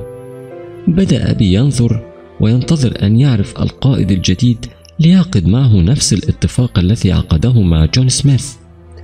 لكن بعد موت جون سميث مباشرة بدأ الإنجليز في مهاجمتنا وتحولت المناوشات إلى حرب طاحنة مميتة قتل فيها الكثير جدا من أبناء البهتان كانت الأسلحة التي يستخدمها الإنجليز فتاكة. تبدو أسلحة البهتان بالنسبة لها دمى أطفال. وقد احتاج البهتان وقتا طويلا جدا ليطوروا طرقا لمقاومة هذه الأسلحة. ظلت الحرب مشتعلة ما يقرب من الأربعة سنوات. ذقنا فيها طعم الجحيم الحقيقي. كان الإنجليز قوما شديدي القسوة يقتلون بالجملة ويستخدمون أشد الأساليب حقارة وينقضون كل العهود. بقى الطرفان يتصارعان حتى أتى ذلك اليوم الذي ذهبت فيه بأمر من أبي إلى قرية بوتاوميكس وهي قرية من القرى التي لم تكن موالية للملك. كنت ذاهبة هناك في مناسبة اجتماعية مهمة. ولما وصلت هناك نصبوا لي فخا وخدعوني وقبضوا علي. كان البوتاوميكس هم من نصب لي الفخ. عرفت أنهم موالون للإنجليز ضد أبي. شعرت بغصة في حلقي. إنهم يودون استخدامي للضغط على أبي. الموت أهون علي من أن أكون سببا في هزيمة أمتي في هذه الحرب. كنت محبوسة في سفينة من سفنهم الكبيرة في غرفة ضيقة. وحالتي سيئة جدا. بسبب اهتزاز السفينة المستمر أثناء وقوفها في الماء. أفرغ ما في جوفي كل يوم وأدوخ وأفقد الوعي وهؤلاء لا يفهمون أني أود الانتقال بعيدا عن السفينة ويظنون أن ما بي هو بسبب الاكتئاب والخوف. خسئتم جميعا. ليست بوكاهانتس من النساء التي يخفن أو يضعفن بسبب الأسر. الأمر فقط دوار البحر. وفي ظلمة الليل بين هزة السفينة انفتح باب غرفتي الضيقة ودخل كيان لم أتبينه جيدا. لكنه كان رجلا ضخما بالتأكيد. وقف على الباب قليلا كالصنم. كان يدخن. أعطاه الظلام والدخان المتصاعد منظرا مقبضا. تقدم مني الرجل وسألني بالإنجليزية سؤالا لم أفهم منه شيئا. ثم تقدم أكثر وامتدت يده لتتحسس عنقي. كنت مقيدة لكني رفعت ركبتي وطعنت بها في بطنه فانقبض متألما وصاح بكلمات غاضبة. ثم بدأت المأساة. جن جنون الرجل وأمسك بي وفعل كل ما يمكن أن يفعله الذئب بفتاة جميلة مقيدة. ثم قام عني وقال بضع كلمات وعدل ملابسه وانصرف. تاركا إياي أتجرع دماء عذريتي وأتجرع معها دموعي هنا في هذه الليلة وفي هذه الغرفة الحقيرة فقدت أنا بوكاهانتس ابنة الملك أغلى حلم من أحلام الفتيات. سرقه مني حيوان فقدت عذريتي لم أعد أصلح لشيء ليتني مت قبل هذا ولولا أنني مقيدة بهذه الحبال. لرميت نفسي في اليم. مذكرة جون سميث. انفجرت في وجهي ذخيرة من الذخائر عن طريق الخطأ. أصبت بحروق كثيرة لكنني لم أمت وغادرت إلى إنجلترا للعلاج. وقال الإنجليزي للهنود الحمر إن جون سميث قد مات. في محاولة منهم للتملص من المعاهدة التي عاهدتهم إياها. مر شهر أو شهران ولم يستطع قومي الاحتمال أكثر وبدأوا الهجوم بضراوة. كنا دائما ننتصر لأن تسليحنا يفوقهم وإن كان عددهم يفوقنا. استمرت الحرب بيننا وبينهم سنين طويلة حتى أسر الإنجليز بوكاهانتس أثناء إحدى الحملات. كانوا يعرفون مدى تعلق والدها بها لهذا اختطفوها كوسيلة للضغط عليه وكوسيلة حماية. فهو ليس مجنونا ليعمل أي هجوم وأغلى ما يملك بين أيدينا. طلبنا منه فدية كبيرة تعجيزية لكنه لم يدفعها كاملة. ولهذا أبقينا بوكاهانتس الجميلة عندنا. أثناء وجود بوكاهانتس في الأسر بدأت بذرة إعجابها بحضارتنا تتكون وتكبر. منذ علاقتي بها وهي تعشق حضارتنا وقد لمست فيها حب الحضارة وكراهية التخلف والهمجية التي تراها في قومها. وبدأت هذه البذرة تنمو أثناء أسرها خاصة مع التعامل الراقي الإنجليزي الذي كنا نعاملها به حتى إنها اقتنعت بالمسيحية وتحولت إليها. وتم عمل طقوس تعميد لها وتغيير اسمها إلى ريبيكا. سميناها بهذا الاسم تيمنا بريبيكا المذكورة في التوراة أم يعقوب وعيسو. فكل واحد من يعقوب وعيسو انحدرت منه أمة. فكانت ريبيكا أما لأمتين وكانت بوكاهانتس تمثل التقاء أمتين أمة الإنجليز وأمة الهنود الحمر. تطور حبها لحضارتنا إلى كره لحضارتها حتى إننا أثناء أسرها سمحنا لها بمقابلة وفد من قومها كان أبوها وسطهم. فلما رأتهم صرخت في والدها وقالت له إنها تكرهه. لأنه اتضح لها أنها أرخص عندهم من سيوف قديمة وقطع من فؤوس. وتقصد الفدية التي طلبناها والتي كانت تشمل أسلحة قومها. تقدم للزواج ببوكاهانتس واحد من أكبر تجار إنجلترا هو جون رولف. وقبلت الزواج بسعادة بالغة وكان هذا الزواج إعلانا للسلام بين الأمتين بعد طول حرب فكانت حقا أما لأمتين. سافرت بوكاهانتس مع رولف إلى إنجلترا وقدمت إلى المجتمع الإنجليزي باعتبارها حمامة السلام بين أمتين عظيمتين. لكن المشكلة أنني أنا أيضا كنت في إنجلترا وقد رأتني بوكاهانتس صدفة فجأة أمامها. مذكرة بوكاهانتس. كرهت نفسي. أنا سبب هزيمة قومي. أنا بلا شرف. بلا قيمة ولا وزن.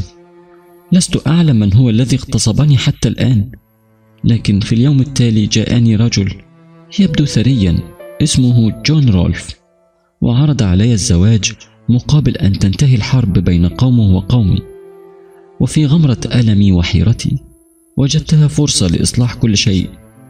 فشعوري بأني سبب مأساة قومي سينتهي بهذا الزواج الذي سأحقن به دماءهم الغالية. وشرفي الذي أضاعه حيوان يمكن أن يجبره الزواج. وإن كان زواجا من أناس لم أكره في حياتي مثلما كرهتهم بكل حذلقتهم وتنطعهم وقسوتهم وخداعهم إلا أنني كنت مضطرة من أجل قومي. وحتى يتم الزواج قالوا لي إنه يجب أن أدخل في المسيحية وأتخذ لنفسي اسما جديدا هو ريبيكا.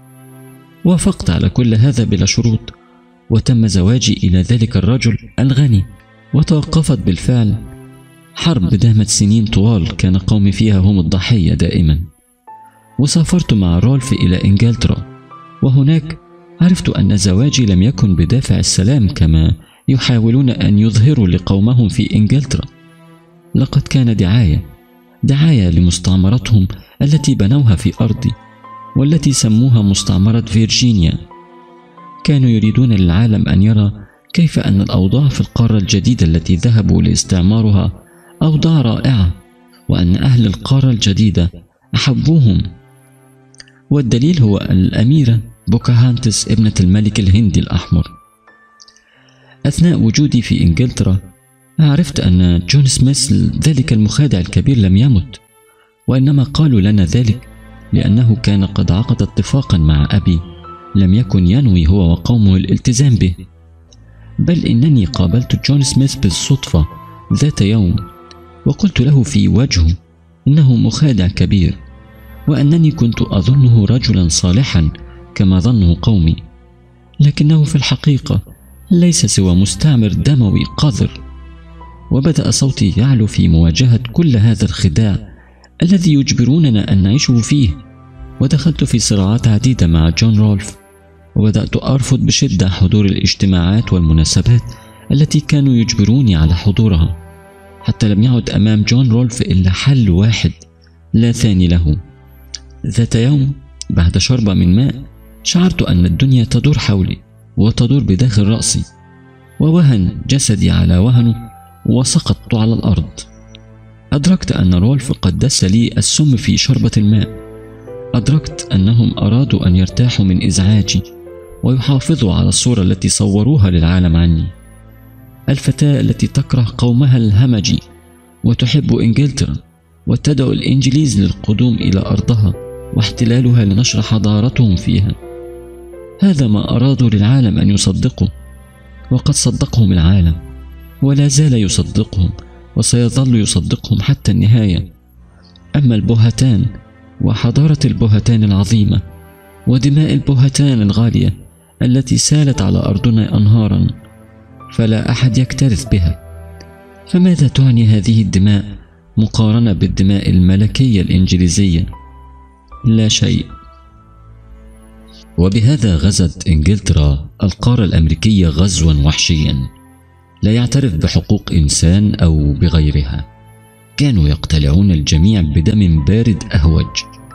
الحقيقة المريعة التي يخفيها التاريخ الأمريكي أن تمثال الحرية في الحقيقة قد أقيم على حساب أرواح ملايين الهنود الحمر.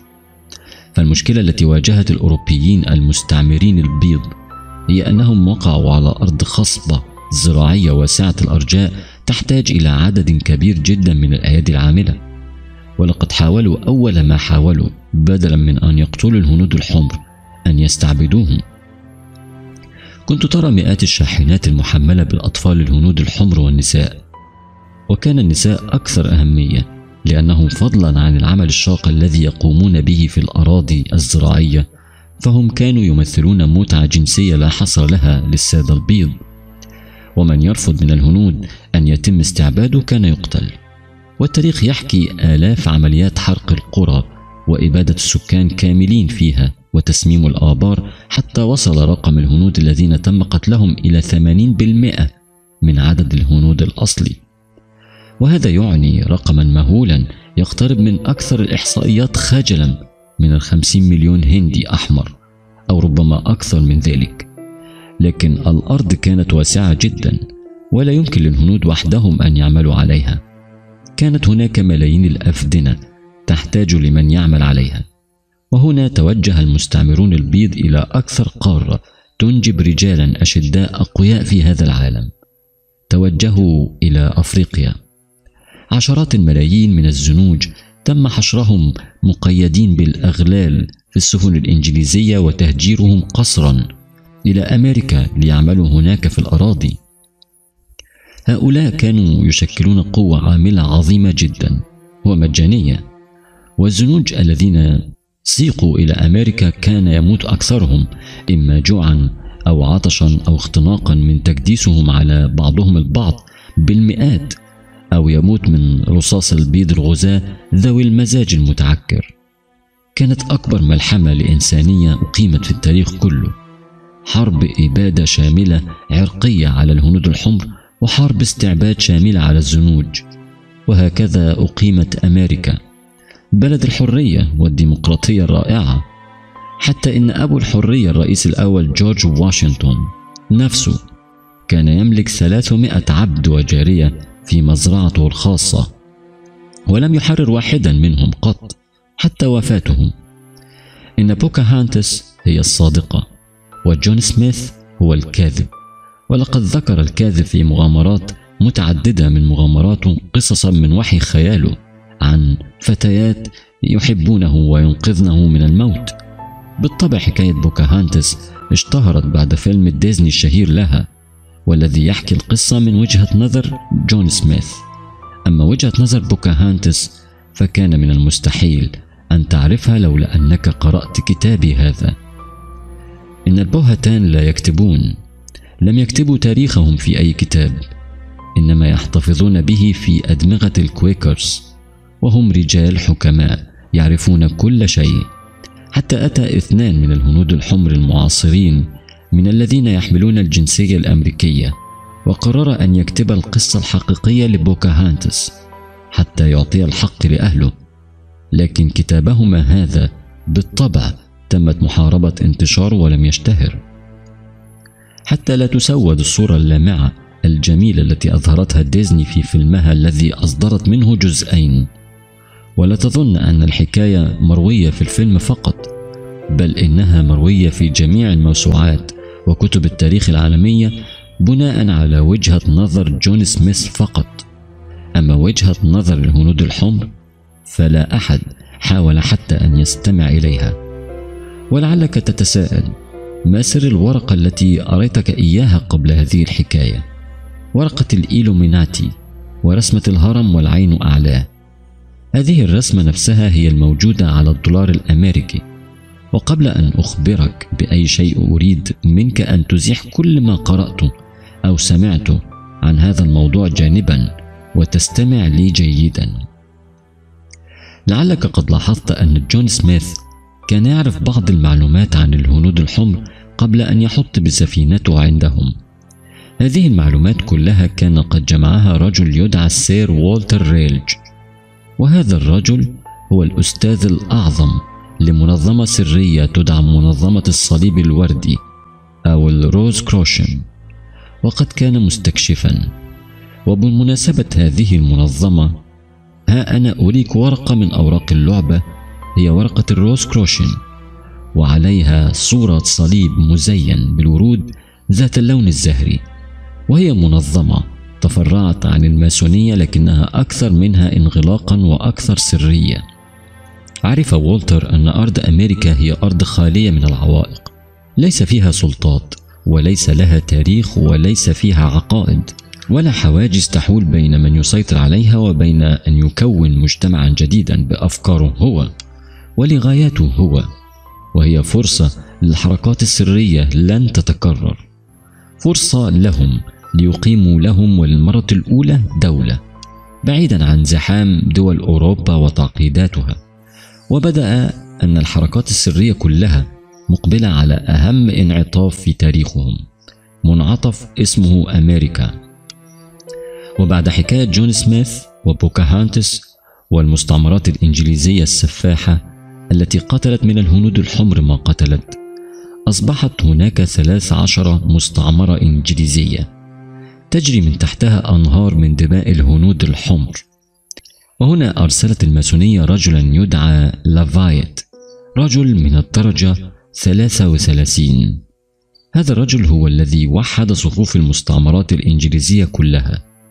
ثم أرسلت الماسونية أحد الماسونيين المهمين وهو فريدريك شتوبين جنرال عسكري محنك نزل إلى المستعمرات وحول الميليشيات العسكرية المفككة لها إلى جيش موحد ثم قامت الثورة الأمريكية. بدأت بما يعرف بحفلة شاي بوسطن. الحكومة الإنجليزية رفعت الضريبة على الشاي فتسلل رجال ماسونيين متنكرون في زي هنود حمر إلى سفينة تحمل حمولة الشاي. ورموا كل حمولة الشاي التي على السفينة في البحر. غضبت الحكومة البريطانية أو مثلت أنها غضبت وردت ردا عنيفا مما أدى لنشوب ما يدعى بالثورة الأمريكية. ونجحت الثورة الأمريكية وحصلت أمريكا على استقلالها وصارت دولة كبيرة مستقلة. وها أنا أعرض عليك ورقة أمريكا وعليها صورة علم أمريكا وأمامه تمثال الحرية. يلعب بكرة تحت قدمه. الكرة الأرضية. كل هذا جميل ولكن دعنا ننظر إلى وثيقة استقلال أمريكا والتي وقع عليها أربعون اسما. كان أول تسعة عشر اسما منهم ماسونيين. وهذا ليس كلاما أتكلم به في الهواء بل هو كلام موثق. دستور أمريكا. وقع عليه 56 شخصا. أول 26 اسما منهم ماسونيين.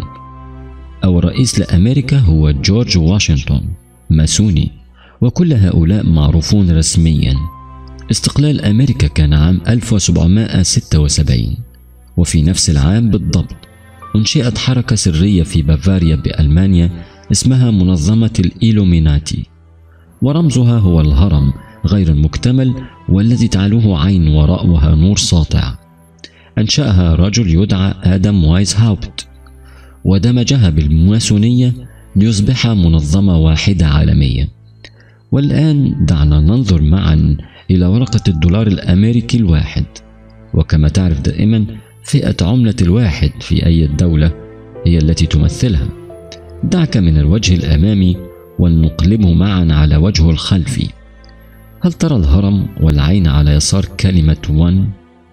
هذا الرمز لا علاقة له بأمريكا من قريب ولا من بعيد إنما هو رمز الإيلوميناتي فوق العين ترى كلمة Annuit Coeptis وهي كلمة لاتينية. معناها الحرفي هو الذي وافق على حمايتنا. وتحت الهرم كلمة هي Seclorum Novus Ordo وهي كلمة لاتينية أيضا. معناها الحرفي هو النظام العالمي الجديد. لو كنت عضوا في الماسونية أو الإيلوميناتي فستتعلم معنى جديدا لكل رمز من الرموز كلما ترقيت درجة. فالعين في البداية هي عين الله المطلعة على كل شيء. ثم تكون عين أوزوريس. ثم تتحول لتكون عين لوسيفر المطلع على كل شيء. فلوسيفر يجري من ابن آدم مجرى الدم وهو مراقب مطلع على كل ما يقوم به البشر. ثم في الدرجات المتقدمة جدا ستتعلم أن هذه العين هي عين أخرى تماما.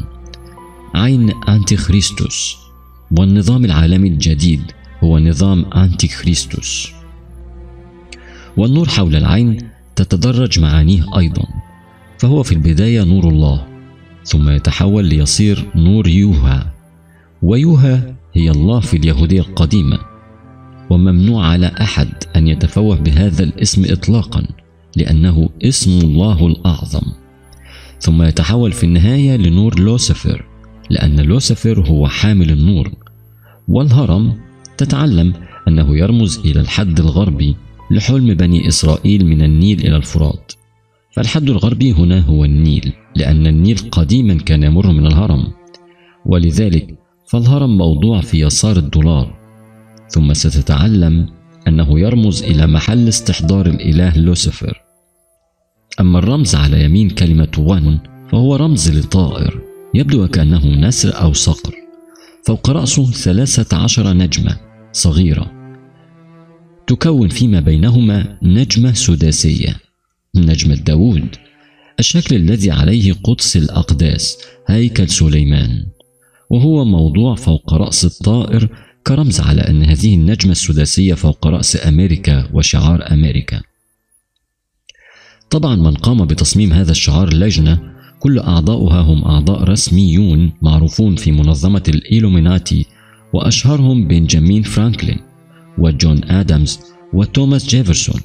وبالنسبة إلى كلمة النظام العالمي الجديد التي يرددونها ويدعون لها طيلة الوقت فهم يريدون أن يوحدوا أفكار العالم وأزياء العالم واهتمامات العالم لتصير كلها أمريكية. وقد نجحوا في هذا إلى حد بعيد. هذا واضح في أزياء الناس والمطاعم التي يأكلون منها والأغاني التي يسمعونها. ولا أقول أن هذا سيء لأنني أمريكا ومن المفترض أن يعجبني هذا. لكنني فقط أقول أنه لا توجد أمة من الأمم نهضت بغير لغتها. خذ اليابان كمثال. هؤلاء يفرضون لغتهم فرضا. خذ فرنسا وألمانيا كمثال آخر. هل فهمت قصدي الآن؟ لازلت لا تصدق أن أمريكا دولة ماسونية وأنني ممن يطلقون عليهم المؤمنين بنظرية المؤامرة والتي يلقون عليها كل مشاكل العالم. حسنا. إن الاحتفال الذي تم فيه وضع حجر الأساس لمبنى الكابيتال الأمريكي هو احتفال تم بطقوس ماسونية وأزياء ماسونية ومن كان يديره هو محفل الميريلاند الماسوني. وهم يعترفون بذلك ولا ينكرونه بل ويفتخرون به. رؤساء أمريكا كلهم ماسونيين من أكبرهم إلى أصغرهم من أولهم حتى أوباما. وهذا رسميا وليس ادعاء من عندي. كلهم ما عدا واحد فقط هو جون كينيدي الذي عندما نما إلى علمه وجود منظمة خفية تدير بلاده. خرج في خطاب رسمي على الملأ يهاجم فيه وجود منظمات سرية. ويقول إن هذا غير مقبول وأن على الدولة أن تحارب مثل هذه التنظيمات حتى إنه أراد تفتيش مفاعل ديمونا النووي الإسرائيلي. هل تدري كيف تم قتل جون كينيدي؟ بعد أن ألقى الخطاب أم تريدني أن أضيع مزيدا من الوقت في إخبارك؟ ومن قتلوا جون كينيدي هم أنفسهم الذين قتلوا الملك فيصل بن عبد العزيز. لما قطع البترول عن أمريكا وهم أنفسهم الذين قتلوا السادات. ولا أعني بهم نفس الأشخاص بل أعني نفس المنظمة أو منظمات تابعة لهم. فكل هؤلاء كانوا رجالا كما يجب أن يكون الرجال. وهذا الصنف من البشر واجب القتل الفوري عند الإيلوميناتي. عندما ظهرت رائحة الماسونية العافنة بدأت تخصص جزءا كبيرا جدا من أموالها للأعمال الخيرية والمنظمات الخيرية. وعندما أقول أموال فأنا أعني بلايين حتى يقنعوا العالم أنهم منظمة تسعى إلى الحرية والإخاء هناك العديد من المؤسسات الماسونية في بلادك تدعي أنها تعمل أعمالا خيرية فلا تنخدع بها. أبرزها نوادي الروتاري ونوادي اللايونز لكن مهلا. ليس كل من رأيته حاضرا في أحد هذه النوادي هو ماسوني. فهذه النوادي هي نوادي عامة وخلال عملها الخيري قد يستعين من آن لآخر بشخصيات هامة كنوع من الدعاية لحملاتهم. وهذه الشخصية العامة قد تكون من أنظف شخصيات البلد ولا يدري أي من تلك الشخصيات شيئا عن الحقيقة المريعة. التي تختفي وراء تلك النوادي أو تلك المنظمات. أو ربما يدري ولكنه لا يسمح لهم باستغلال نفوذه وتأثيره إلا في عمل من أعمالهم الخيرية. وليس كل من انضم إلى الماسونية شريرا بالمناسبة فلا تنخدع أيضا. فقد سبق ونوهت إلى أن هناك درجات كثيرة في الماسونية وأن أول ثلاث درجات فيها هي بمثابة كشافات لاختيار من يصلح إلى الترقي بعد هذا. ولا يكون المرء ماسونيا شريرا إلا بعد وصوله إلى الدرجات العالية حيث يبدأ في معرفة حقيقة المنظمة وأنها يهودية ذات أهداف يهودية وأنه هو نفسه لابد أن يقسم على التوراة وحدها. وأي رجل لامع حاولت الماسونية أن تجتذبه وقبل الانضمام ثم ترك الماسونية في الدرجات الثلاثة الأولى فهم لا يتعقبونه ولا يؤذونه. لكن المشكلة في من هم أمثالي ممن يحاولون أن يتركونها بعد أن يصلوا فيها لدرجات متقدمة جدا. ولقد صدرت فتوى رسمية من الأزهر بتحريم الانضمام للماسونية وكل ما يتبع لها من نوادي مثل الروتاري والليونز. وكذلك أصدر المجمع الفقهي التابع لرابطة العالم الإسلامي فتوى مماثلة. وهي فتاوي طويلة تبين بشكل واضح أهداف الماسونية الحقيقية التي تم كشفها وتحريم الانضمام لها بناء على هذا الكشف. والآن حان وقت لأكشف لك معلومة هامة وعدتك بكشفها في أول حديثي معك. سأكشف لك اسم لعبة الأوراق التي نلعبها هذه وهو اسم سيدهشك نوعا ما.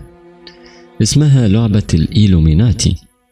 النظام العالمي الجديد وهي متوفرة في الأسواق العالمية بسعر غالي نوعا ما يقترب من الثلاثمائة دولار أمريكي.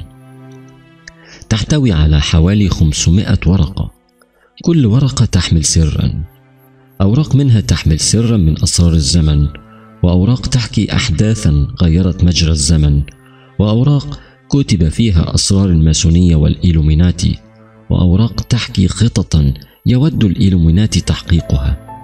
وقبل أن نكمل أود أن أعطيك نبذة شديدة الاختصار عن وجود الماسونية والإيلوميناتي في الميديا. الأمثلة كثيرة جدا لا حصر لها لكن سأذكر لك أهمها. لو شاهدت فيلم ديزني علاء الدين ألا تذكر أن علاء الدين لما خرج له الجن الأزرق وقع معه عقد في ورقة طويلة. ثم بدأت الأموال والنساء ينهلون عليه. كان سكتش راقص كوميدي ولكنه يعبر تماما عن الحقيقة. بع نفسك للشيطان يأتيك الشيطان بكل ما تشتهي كما أذكر ذلك النادي الذي أنشأه سبونج بوب والذي كانت علامته هي نفسها علامة الإيلوميناتي؟ صانع هذه اللعبة هو ستيف جاكسون وهو عضو في منظمة الإيلوميناتي وهذه المنظمة على خفائها إلا أنها مولعة بترك بصمة لها في كل مكان. ففي أفلام السينما تخفي رموزها بين ديكورات المشاهد الهرم والعين المربعات البيضاء والسوداء التي ترمز لاتحاد عالمي الجن والإنس المسطرة والفرجار. ويتم دسها أيضا في الفيديو كليبات وفي أفلام الكرتون. وفي مئات الكنائس حول العالم.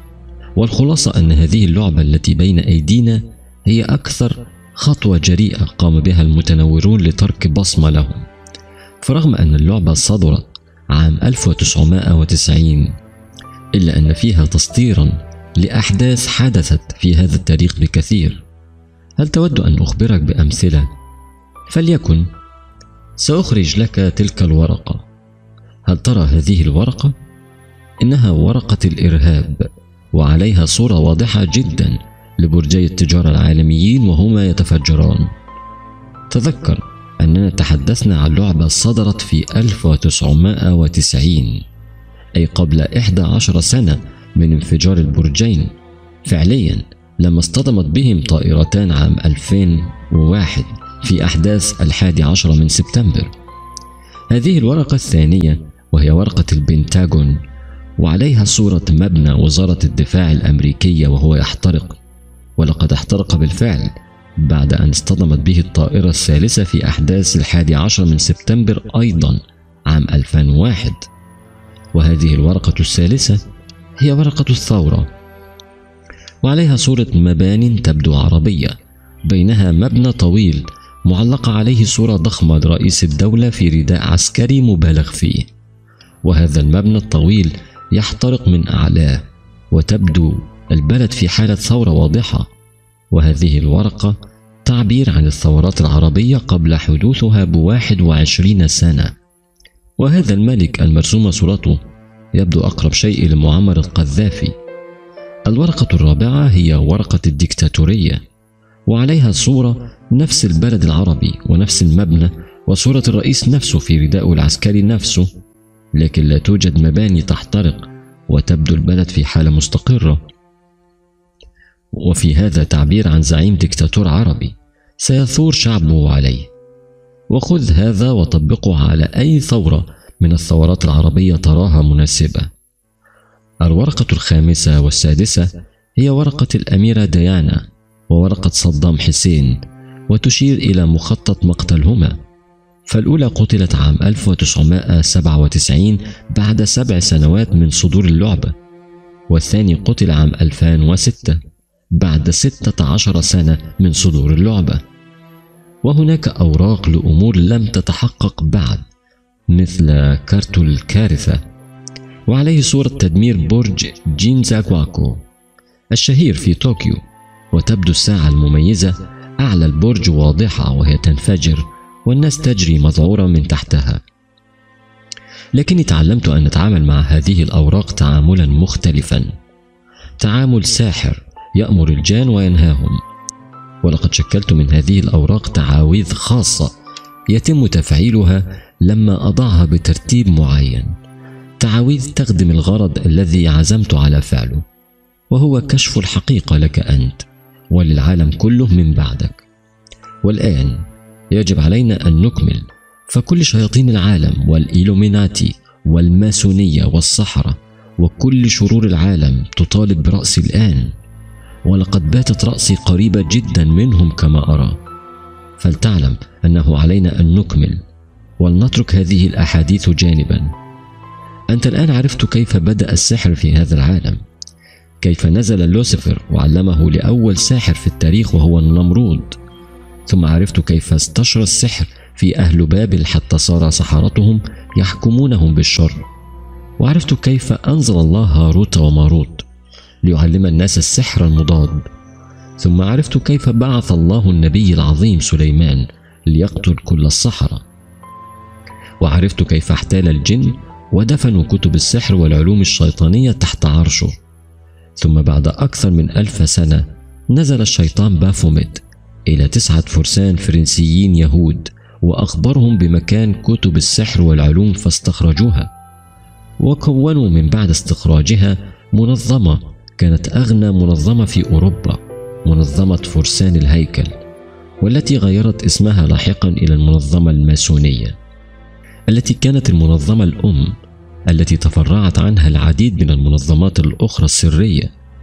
وعرفت أن أهم إنجاز من إنجازات تلك المنظمة كان إنشاء دولة أمريكا. بالتوازي مع كل هذا تابعت حركة الأفعى الشيطان سيربنت وهو يفسد عقيدة اليهود ثم يفسد عقيدة المسيحيين ثم يفسد عقيدة المسلمين ويخرج من عباءة كل عقيدة عدة طوائف. وقد حان الوقت الآن لتجتمع الماسونية مع الأفعى السيربنت لتتعلم إنجازات أخرى خطيرة قامت بها المنظمة وقام بها السيربنت إنجازات كانت البداية في طريق الغاية العظمى سواء للمنظمة أو للشياطين بناء هيكل سليمان المقدس. ولن تعرف لماذا يود هؤلاء وهؤلاء بناء هذا الشيء اللعين إلا بعد حين. لدينا على طاولتنا هذه المرة اثنة عشر ورقة يبدو عددا كبيرا. تنتظرنا حكاية شديدة الدسامة. دعنا نرى.